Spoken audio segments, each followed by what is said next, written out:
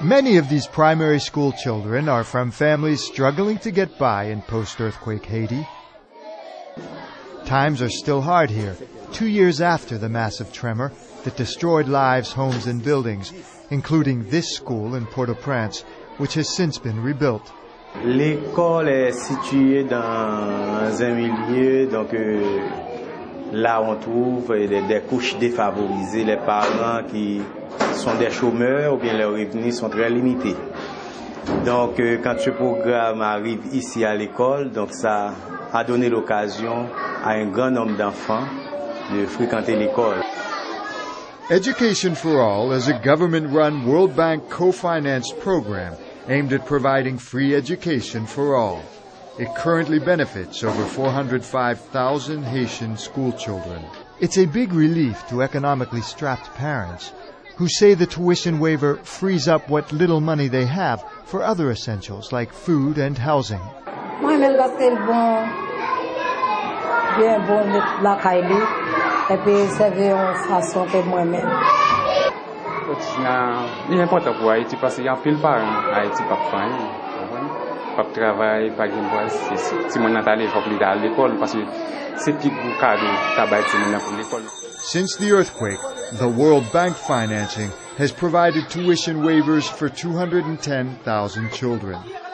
A new $70 million project will continue to expand access and enhance quality over the next three years. Actuellement, les chiffres précis, nous avons 1221 écoles et dans 8 départements qui en fait participent au programme de subvention. Ça comprend en fait euh, la subvention à l'écolage, donc euh, le, les frais que les parents devraient et, défrayer euh, pour permettre aux enfants d'aller à l'école.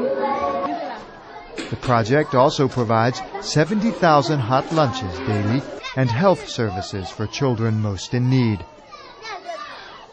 Under the World Bank project, thousands of young men and women from disadvantaged areas are learning to become effective primary school teachers through a three-year program of intense academic training. Maintenant, la FIA en forme un petit peu plus de 1500, ce qui fait que et avec la FIA, il y a environ 2000 enseignants qui sont formés par année. Et si cela continue ainsi, on peut dire que arrivé à 2015, et on aura atteint le quota de 10 000 nouveaux enseignants pour le système pour pouvoir scolariser, prendre en charge les nouveaux enfants qui arrivent à l'école. Parce que j'ai toujours aimé l'enseignement et lorsqu'on m'a offert cette chance, je l'ai saisie. Et de plus, l'éducation est un petit peu négligée en Haïti et je veux aider mon pays. Je veux participer, je veux participer à l'éducation. Je veux aider les jeunes, surtout dans les milieux défavorisés.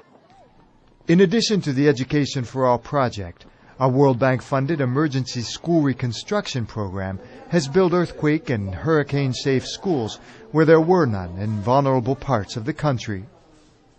In the commune of Kakshant in Haiti's southeast, this new school has just been built. La construction de cette école, normalement avec une nouvelle école, il y a l'espace qui va augmenter la quantité d'inscrits pour l'année.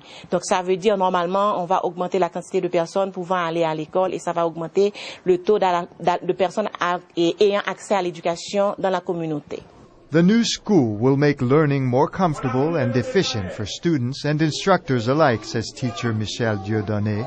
Dans mon esprit, ça va rafraîchir mon esprit parce que quand on est dans, dans un endroit propre, attrayant, ça vous stimule, vous vous sentez bien, vous travaillez vraiment dans le bain.